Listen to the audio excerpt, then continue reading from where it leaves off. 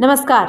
आप देख रहे हैं प्राइम न्यूज़ 24 मैं हूँ आपके साथ श्वेता सिंह। माँ बाप अपने बच्चों को अच्छी शिक्षा के लिए विदेश में तो भेज देते हैं, लेकिन जो बच्चे बाद में माता पिता का हाल भी नहीं जानते, उन माँ बाप का क्या नसीब होगा? ऐसी ही दर्दनाक कहानी जिला गुरदासपुर के बटाला के राजेंद्र कुमार की है, जो पंजाब पुलिस के सीईडी विभाग से रिटायर हुआ है। राजेंद्र कुमार ने साल 2000 में अपने बड़े बेटे अरविंद को पढ़ाने के लिए कनाडा भेजा था और बेटे ने साल 2002 में कनाडा की नागरिकता हासिल करने के लिए कनाडा में रह रही बांग्लादेश की लड़की से शादी कर ली और साल 2004 में उन दोनों का तलाक हो गया और अपना आठ महीने का बेटा सिद्धार्थ अपने माँ बाप के पास बटाला भेज दिया। दादा दादी ने हर तरह से उस पोते का पालन पोषण किया। धीरे धीरे जब पोता बड़ा हुआ तो पोतों की हरकतों से उन्हें पता चलना शुरू हुआ कि इसका मानसिक संतुलन ठीक नहीं है। जिसके चलते दादा दादी अपने ही घर में चोरों की तरह छिप कर रहना पड़ा। क्योंकि जब घर में कोई नहीं होता तो पोते द्वारा उन बुज़ुर्गों पर तशदद किए जाते थे। कुछ सालों से बुज़ुर्गों ने पोते को रखने का हल तो कर लिया।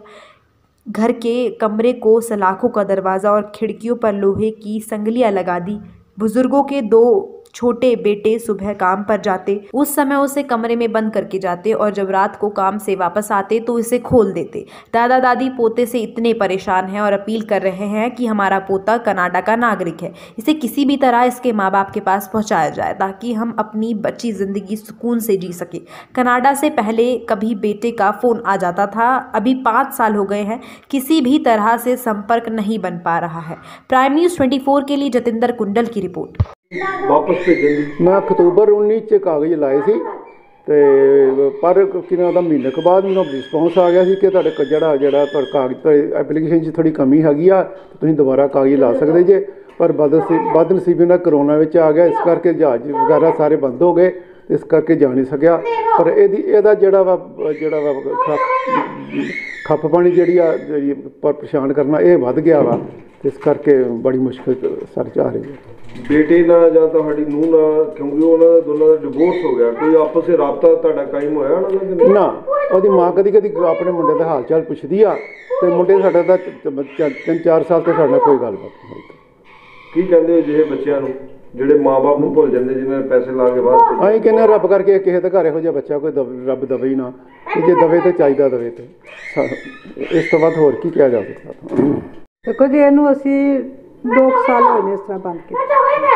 ਦਰਵਾਜ਼ਾ ਦੂਸਰਾ ਇਹ ਵਾ, ਸਾਨੂੰ ਕੱਲਿਆਂ ਨੂੰ ਇੱਥੇ ਟਿਕਣ ਨਹੀਂ ਦਿੰਦਾ ਦਾਦੀ ਦਾਦੇ ਨੂੰ।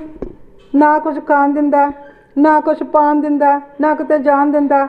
ਕੋਈ ਚੀਜ਼ ਇੱਥੇ ਬਾਹਰ ਵਿਹੜੇ 'ਚ ਪਈ ਹੋਵੇ ਚੁੱਕ ਚੁੱਕ ਕੇ ਬਾਹਰ ਗਲੀ 'ਚ ਸੁੱਟ ਦੇਗਾ। ਬੈਠੇ ਬੈਠੇ ਬੈਠਾ ਬੈਠਾ ਹੀ ਚੰਗਾ ਭਲਾ ਬੈਠੇ ਬੈਠੇ ਤੰਗ ਕਰ ਲੱਗ ਜੇ।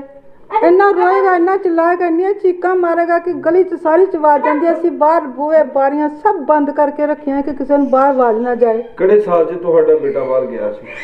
ਉਹ 2000 ਚ। ਕਿੰਨਾ ਚਿਰ ਹੋ ਗਿਆ ਉਸ ਨੂੰ ਬਾਹਰ ਗਿਆ? 20 ਸਾਲ ਹੋ ਗਏ ਨੇ। ਉਹਨੂੰ। 20 ਸਾਲਾਂ ਦੇ ਵਿੱਚ ਕੋਈ ਪੁੱਛਗਿੱਛ ਤੁਹਾਡੇ ਨਾਲ ਕੋਈ ਰਾਬਤਾ ਕੀਤਾ ਹੈ ਤਾਂ? ਹਾਂ ਪਹਿਲੇ ਕੱਲੇ ਕਰਦਾ ਸੀ phone। ਪਹਿਲੇ ਫੋਨ ਕਰਦਾ ਸੀ। ਹੁਣ 4-5 ਸਾਲ ਤੋਂ ਫੋਨ ਨਹੀਂ ਕੀਤਾ।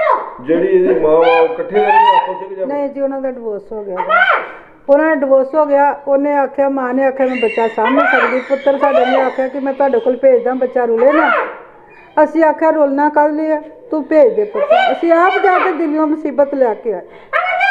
ਇੱਥੇ ਆ ਕੇ ਸਾਨੂੰ ਇੰਨਾ ਤੰਗ ਕਰਦਾ, ਇੰਨਾ ਪਰੇਸ਼ਾਨ ਕਰਦਾ, ਅਸੀਂ ਕਿਤੇ ਜਾ ਨਹੀਂ ਸਕਦੇ, ਕਿਤੇ ਆ ਨਹੀਂ ਸਕਦੇ, ਸਾਡੇ ਘਰ ਨਹੀਂ ਕੋਈ ਆ ਸਕਦਾ। ਅਸੀਂ ਇੰਨੇ ਕੁ ਤੰਗ ਆ, ਅਸੀਂ ਕਿਤੇ ਕੋਈ ਸਾਨੂੰ ਕੋਈ ਸਾਰੀ ਚੀਜ਼ਾਂ, ਸਾਡੇ ਸਾਰੇ ਸ਼ੌਕ, ਸਾਡੇ ਸਾਰਾ ਕੰਮ ਸਾਡੇ ਵਿੱਚ ਹੀ ਰਹਿ ਗਏ। ਇਸ ਬੱਚੇ ਸਾਡਾ ਬੱਚਾ ਸਾਨੂੰ ਆਪਸ ਚ ਨਹੀਂ ਗੱਲ ਕਰਨ ਦਿੰਦਾ। ਮੇਰੇ ਵਾਲੇ ਵੇਖੀ ਜਾਓ, ਮੇਰੇ ਵਾਲੇ ਵੇਖ- ਮੇਰੇ ਨਾਲ ਹੀ ਬੈਸੀ ਜਾਓ, ਮੇਰੇ ਨਾਲ ਹੀ ਤੜਫੀ ਜਾਓ, ਬਸ ਇਹੋ ਹੀ ਅਸੀਂ ਨੁਕਰੇ ਲਾ ਕੇ ਖਲੋ ਜੰਨੇ ਆ ਤੇ ਇਸ ਕਰਕੇ ਅਸੀਂ ਇਹਨੂੰ ਇਹੋ ਜਿਹਾ ਦਰਵਾਜ਼ਾ ਲਾ ਕੇ ਤੇ ਅਸੀਂ ਇਹਨੂੰ ਇੱਥੇ ਡੱਕਿਆ ਕਿ ਅਸੀਂ ਜਰਾ ਜਿਹੜੇ ਚਾਚੇ ਘਰ ਨਾ ਤੇ ਅਸੀਂ 2-4 ਘੰਟੇ ਅਸੀਂ ਬਚੇ ਰਹੀਏ। ਨਹੀਂ ਤੇ ਅਸੀਂ ਤੇ ਸੱਚੀ ਇੰਨੇ ਪਰੇਸ਼ਾਨ ਆ ਅਸੀਂ ਗਲੀ 'ਚ ਕਿਸੇ ਦੇ ਘਰ ਨਹੀਂ ਜਾ ਸਕਦੇ। ਕੋਈ ਸਾਡੇ ਘਰ ਨਹੀਂ ਕੋਈ ਆ ਸਕਦਾ। ਅਸੀਂ ਬੜੇ ਤੰਗ ਆ, ਅਸੀਂ ਕਹਿੰਦੇ ਆ ਕਿ ਸਾਡੇ ਤੇ ਕੋਈ ਤਰਸ ਕਰੇ ਤੇ ਇਸ ਬੱਚੇ ਨੂੰ ਕੋਈ ਸੰਸਥਾ ਵਾਲੇ ਜਿੱਥੇ ਸਰਕਾਰ ਸਾਂਭਦੀ।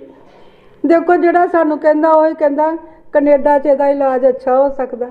ਇਹਦੇ ਪਿਓ ਨਾਲ ਤੁਸੀਂ ਗੱਲ ਕਰੋ। ਇਹਦਾ ਪਿਓ ਕਿਉਂ ਨਹੀਂ ਆਉਂਦਾ ਲੈਣ ਵਾਸਤੇ? ਅਸੀਂ ਕੀ ਕਰੀਏ? ਕੈਨੇਡਾ ਪਹੁੰਚਾਉਂਦੇ ਆ, ਸਾਡੇ ਕੋਲ ਪਹੁੰਚਾਇਆ ਨਹੀਂ ਜਾਂਦਾ। ਪਿਓ ਇਹਦਾ ਗੱਲ ਨਹੀਂ ਕਰਦਾ। ਮਾਂ ਇਹਦੀ ਇਸ ਤਰ੍ਹਾਂ ਦੀ ਉਹ ਇਹਨੂੰ ਕਹਿੰਦੀ, ਮੈਂ ਸਾਂਭਣਾ ਨਹੀਂ। ਸਾਡੇ ਤੇ ਕੋਈ ਤਰਸ ਕਰੋ, ਸਾਡੇ ਤੇ ਮਿਹਰ ਕਰੋ, ਇਹਨੂੰ ਬੱਚੇ ਨੂੰ ਬਚਾਓ, ਇਹਨੂੰ ਬਚਾਓ।